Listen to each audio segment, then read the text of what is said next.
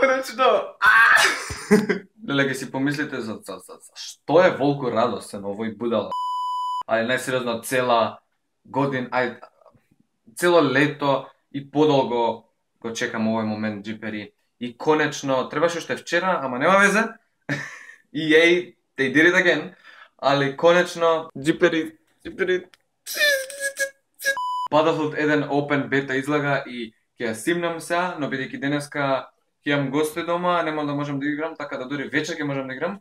Но ќе симнам се джипери и сакав нешто да ви навам. Се гледаме вечер со стрим, прв пат палење и играње Battlefield 1. Така да вечер на кај 8.30-9 часот така нешто. Може би и 8 ќе гледам што порано да почнам. Ќе играме ова прекрасна игра Така да се гледаме джипери вечер со вака ненадено најавен стрим, но на вистина сакав да и се да да и посветам еден стрим на игра бидејќи на вистина сум фан на Battlefield франшизата и конечно излезе и Battlefield 1 и така да ја да него да облекувам ова видео джипери се гледаме вечер со стрим, не знам колку ќе трае, но барем еден сад два најверојатно ќе трае така да подадат джипери и се гледаме вечер со стримот.